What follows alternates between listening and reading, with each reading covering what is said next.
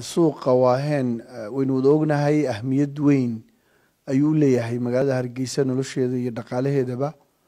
Suuragalna ma aha in suuqani sii xidhnaado. Shacabka iyo dowladdaba waxaa ka go-an in suuqani uu dib u dhismo oo dhaqdhaqaaqii ganacsi ee ka socdayna uu dib u bilaabmo.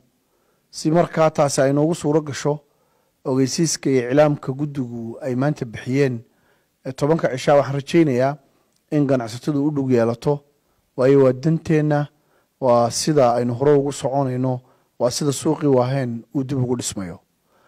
Annaga ka dowlad hoose ahaan waxaa farxada in dhismayaashii dowladdu lahayd ee ku dhex yaalay suuqa waaheen in dib dhiskoodu meel fiican oo wanaagsan inuu marayo.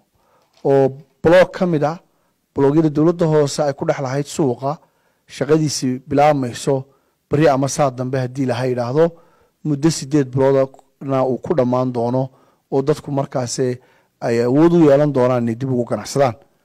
Suuqii weynaa ee waaheen qeybtii weyneyd iyadana in qorshaheedii socoto la dedejin doono dib u dhiskiisa iyo dhagax dhigiisuna iyaguna markaa maalmaha soo socda insha allah uu inaga qabsoomi doono. Waxaan rajaynaynaa si loo wada dhaqaaqo oo suuqu uu mar u wada bilaabmo una wada dhammaado waxaa la doonayaa in suuqa qeybta dowladdu leedahay iyo qeybta guryaha gaarka loo leeyahay inay mar wada dhaqaaqaan oo ay mar wada dhismaan. Marka waxaa looga baahan yahay ganacsatada gaarka u leh bakhaaradii ku yaalay suuqa waaheen iyagoo oo ka duulaya heshiisyadii iyo arrimihii hore ee laysla qaatay inay dedejiyaan oo tobanka cisho gudahood wixii naga qabia markaa ay ku soo dhammaystirmaan. Waxaan u mahadnaqayaa ganacsatada dadaashay ee balogyadoodii soo diyaariyey sidii ay dib ugu dhisan lahaayeen. Guddiguna markaa ay diyaar ula tahay wixii qeyb ama door ay ku lahaayeen inay qaataan. Waxaynu sugnaaba waa maalmaha soo socda oo shaqadu bilaabanto oo dadka reer hargeysa ay arkaan suuqii waaheen oo dib u dhismaya.